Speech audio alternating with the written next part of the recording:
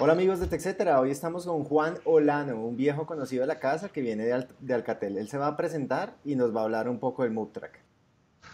Hola a todos, hola Felipe, eh, yo soy Juan Olano, soy el Product Manager para Alcatel en Latinoamérica.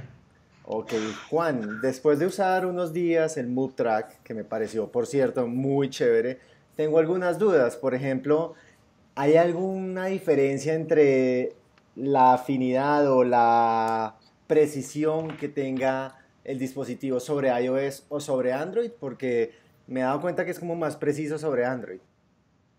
Eh, no necesariamente, yo creo que es un tema, podría ser un tema de la aplicación, pero en términos de infraestructura, el tracker eh, sensa la información ya sea de los satélites o de la posición basada en la red o en los eh, en las eh, access point Wi-Fi que hay en la zona, envía todo a la nube, que es una nube común, todos esos, todos esos componentes son comunes y la única diferencia es la aplicación en sí. Entonces no, no, debería, no debería existir diferencia entre los dos, es, es más, no, no, no, no sé, si tú lo percibiste puede existir, pero creo que es más un tema de la implementación de, de los mapas del Google Maps sobre la aplicación, no sé. Ok. Bueno, otra cosa que yo notaba es que a veces en interiores se queda sin señal. ¿Eso es común? ¿Cuál es el consejo, por ejemplo, para que la gente eh, establezca la zona segura antes de entrar a interiores o qué hacer? Bien, el, tema de la señal, la, radio, la radiotransmisión siempre tiene sus, sus eh, retos y depende obviamente de la construcción del edificio, el material de construcción, el lugar donde estés eh, y además el tracker por su tamaño a veces lo, guardas en sitios donde, donde no puede recibir muy bien la señal. Eh, entonces, eventualmente se podría perder, pero, pero en una red normal, de un operador normal, eh, con unas frecuencias que puedan penetrar bien las construcciones, debería ser mínima o, casi nula las veces que pierda la señal. En cuanto a cómo identificar la posición, que también te afecta, eh, depende cuando estás en ambientes interiores, no consigues la señal del satélite los satélites muchas veces no penetran las paredes y ahí es cuando nosotros cambiamos a identificar la posición con eh, datos de la red del operador celular y con datos de los access points cercanos. Eh, en ese caso entonces puede cambiar la forma como ubica y también eh, la, la, precisión de la misma, porque cuando tienes el GPS tienes la mayor precisión, cuando pasas a identificación de la localización basado en la separación de las celdas del operador, eh, la, aumenta eh, el, el, rango en el que te puede ubicar.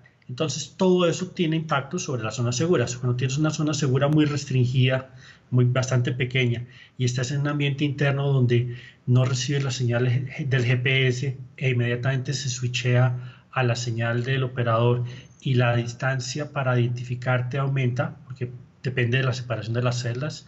Normalmente en una ciudad están separadas cada 500 metros, en una ciudad con alta densidad. Y eso hace que, que te separes más de la ubicación y te puede generar una alarma.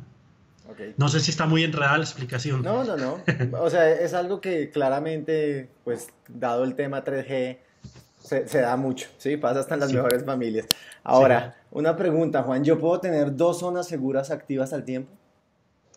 Eh, sí, puedes tener más de una zona segura activa al tiempo.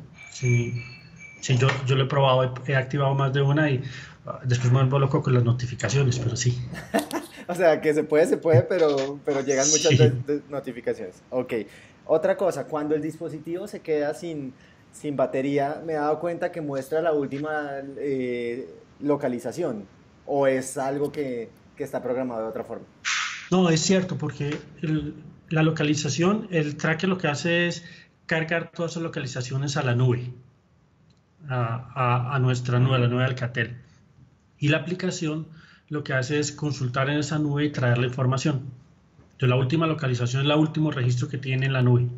Ok. Juan, no sé si fue algo que yo no encontré, pero está la opción, por eso quiero saber.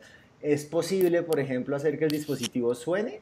Como pasa con muchas señoras que se les pierden las llaves o el carro en algún sitio, ¿hacer que suene? No, desafortunadamente no. Ok.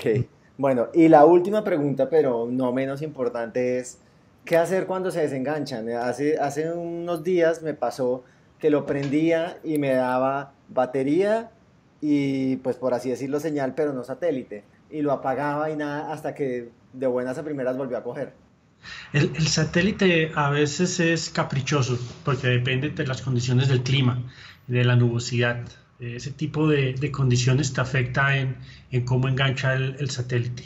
Entonces, eh, no debería suceder cuando lo tienes conectado y con batería, o sea, con batería todo el tiempo, él sigue enganchado y no deberías tener problema. A veces, igual que en los celulares, se tarda un poco en enganchar. Okay. Pero es tema de la tecnología. Y en ese mismo orden de ideas, Juan, ¿cómo sé yo cuando se me acabaron los datos o cuando definitivamente el tracker está fallando? Esa es, esa es, una buena pregunta y creo que es algo que tenemos que tener en cuenta para futuras versiones porque eh, como el equipo no tiene pantalla ni ninguna interacción con el usuario, eh, no, no, no, hay forma de saber si te llegó un SMS de tu operador diciendo que ya no tiene saldo. Oh, okay. eh, sí, sí, es, es cierto. Pero yo podría sí. llamar al operador y preguntar, según la línea. Sí, tú, tú puedes consultar tus saldos.